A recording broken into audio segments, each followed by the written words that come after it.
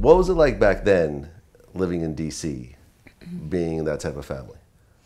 Uh, well, DC is full of culture. It's uh, one of the melting pots in the United States, New York being the 1st But there are all kinds of people that come to DC via embassies and the government as well. So um, it's very multicultural from the arts, etc. Being exposed to the arts, I met people from Africa as well as Japanese.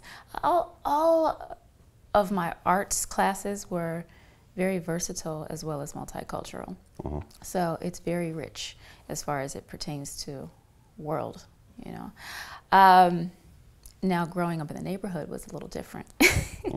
I grew up in predominantly a black community early in my childhood, and that got tough. I got teased a lot, you know, for the the differences between my parents, and I used to get called jungle fever all the time. But everybody gets teased for something. Sure. So, when you're growing into who you're going to be as an adult, and you're listening to all kinds of influences, sometimes it really, really hurts if you're not strong enough as an individual or in your foundation. And I just remember my parents telling me that that's ignorance speaking and don't pay attention to it. You're beautiful the way you are and you were made out of love and that's all you need to, to know.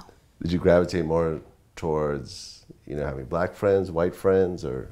Um, everyone was my friend. I wasn't prejudiced to anything. You know, um, I went to a predominantly black school early on in my childhood, um, elementary school in particular. So all of my friends were mostly black.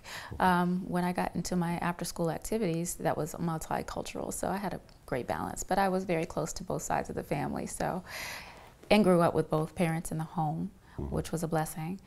And I just never had the uh, the outlook on segregation, and I really didn't understand it based on skin color. My father being a history major and knowing about geography and how the the sun affects the melanin in the skin.